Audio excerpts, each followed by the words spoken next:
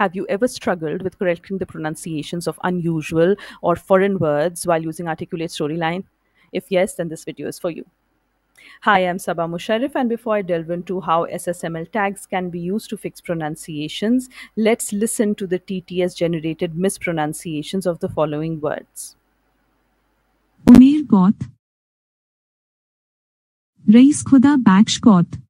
So these are actually names of areas which are pronounced differently by the locals who are also the target audience for the course being developed.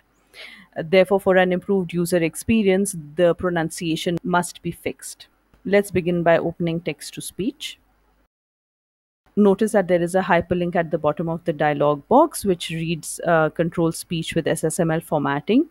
Uh, clicking this will take you to the Storyline 360 SSML support page, which lists the tags that the application now supports. I'm going to go back to the text to speech window and I'm going to start adding the tags now. One thing that you need to be mindful of is that whenever you use SSML formatting, all the text should be within the SSML speak tags irrespective of whether you are assigning a tag to that particular word or not all the content must be within the speak tags. So in this case because our focus is on pronunciation i will use the phoneme tag which has two attributes alphabet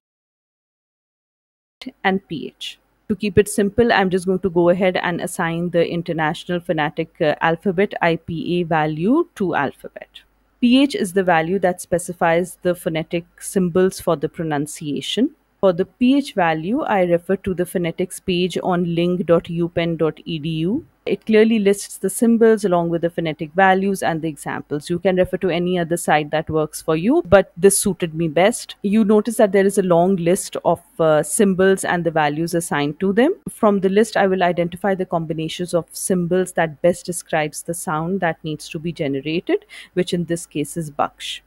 Once I have identified that uh, combination, I'm going to add that as a value to the pH attribute. Next, I will write down the word being pronounced and ensure that the phoneme tag is closed. TTS will now pronounce the word Baksh as specified in the pH attribute instead of using the default pronunciation. I'm going to go ahead and do the same for Goth and Omar Goth.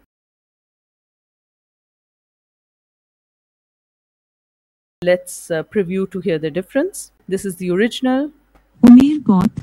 and this is the fixed version. Umar Goth. Reis Khuda Baksh Goth. Reis Khuda Baksh Goth. I hope you find this useful. If you have any queries with which I can help you out, please feel free to post them in the comments below. Bye bye.